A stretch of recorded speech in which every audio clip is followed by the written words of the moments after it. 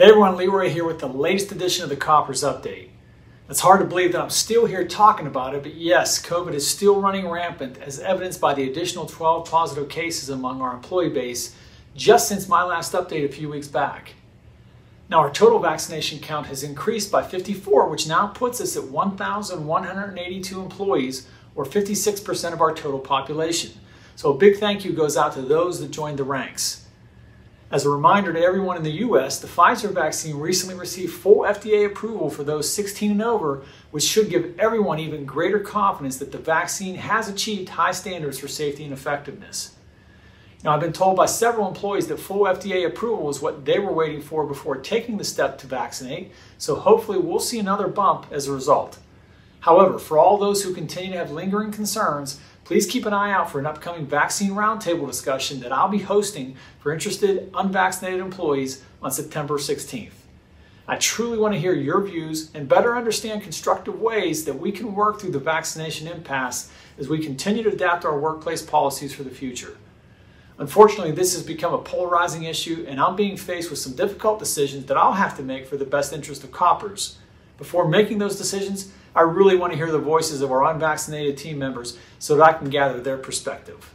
Speaking of the vaccine and its benefits, I want to thank NFL Hall of Famer and former Pittsburgh Steeler Jerome Bettis for filming a video encouraging vaccination for Koppers employees. You know, he actually attributes the vaccine to saving his life when he recently contracted COVID.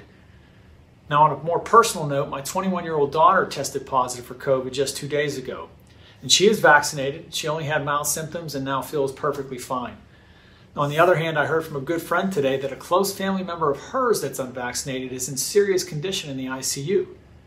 Now, I know you're tired of me beating your ear about this, but it's nothing to play around with. And breakthrough cases are not evidence of the vaccine not working.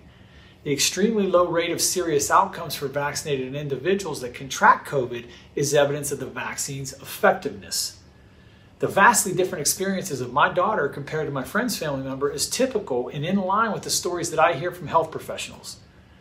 Anyway, please check out what Jerome Bettis has to say about his COVID experience and the benefits of being vaccinated on Employee News or a Marlin board at your location.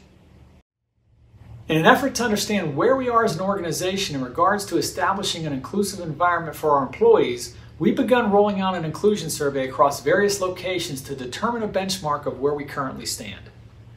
Now, surveys have already been conducted at Stickney and Somerville, with Pittsburgh, Harmarville, and Griffin queued up next, and others to follow at various points afterward. The survey, which takes only two minutes to complete, includes eight questions, plus the opportunity to offer suggestions for improvement.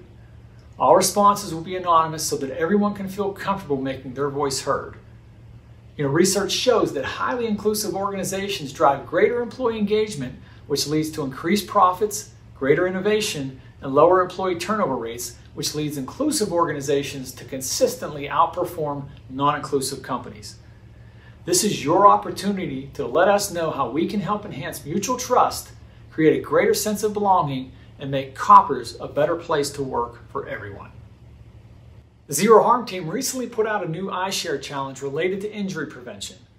You know, so far in 2021, 47% of our workplace injuries were sprains or strains, mostly to the upper body, and 40% were cuts, bruises, and fractures. We're seeking your help finding new ways to prevent these kinds of injuries, so I encourage you to submit any ideas you may have via iShare. Prizes will be awarded to three winners in each category, starting with $500 for first place, so please log on and give us your best ideas to create a safer workplace. I'm happy to share that our Link Parents Employee Resource Group has some exciting programs planned for the remainder of 2021, starting just a little later this month. The group will be hosting two virtual learning sessions about the college application process, which will be facilitated by experts at Robert Morris University. The first session will be focused on college search strategies and navigating the college application process, while the second session will be focused on college affordability and financial aid. Additionally, the team is organizing a series of events related to social media education, with the first one set to take place in October. Stay tuned for more information in the coming weeks.